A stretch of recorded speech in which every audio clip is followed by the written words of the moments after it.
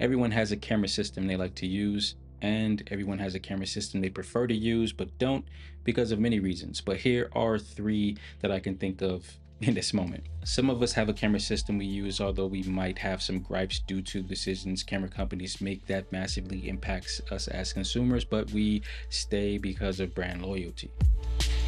Some of us have a camera system that we love to use because it allows us to create without boundaries. And some of us have cameras we use because we feel pressure from others around us who harshly criticize us for shooting with a camera system that isn't currently the popular camera system at the moment.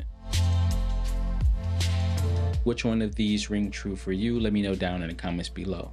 When it comes to why I shoot with Fujifilm, I fall under reason two. I honestly don't care what I create with my Fujifilm system, which is a half truth. I only care what I'm creating when it comes to what I create for this channel. Other than that, the Fujifilm system is what I take out with me when I go for a walk, when I want to capture without thinking about what I'm capturing, but just because I want to. I've shot in professionally with the Fujifilm X-H1 and I enjoy it.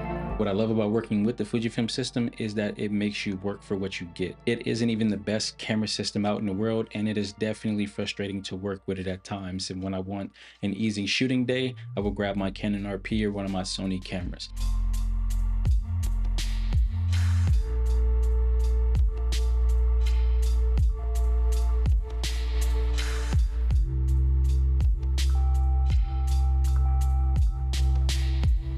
but I would like to know why you shoot with the system you shoot with. Let me know down in the comments below.